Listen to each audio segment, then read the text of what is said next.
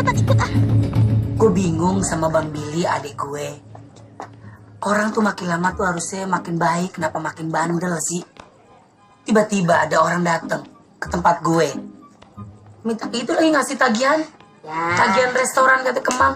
Udah bos, sabar aja bos. Namanya juga ade kan pasti lagi nyari perhatian buat kakaknya. Ah, dari perhatian sama gue. Bagaimana sih? Ah, gini bos, kita punya ide bos. Gimana kalau si Bang Billy itu kita masukin pesantren? Pesantren. Jengkol bos. Maksudnya jangan. Mendingan ke Lido bos. Lido Roma.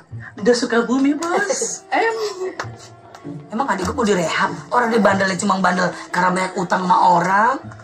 Ribet banget, ada pingsan nggak colok matanya nih. Ya namanya juga kelakuan asisten bos Olga kan banyak rupa I- bos. iya, cuma dia doang yang bentuknya kayak udus gembel. Untung saya nggak apa-apa ya.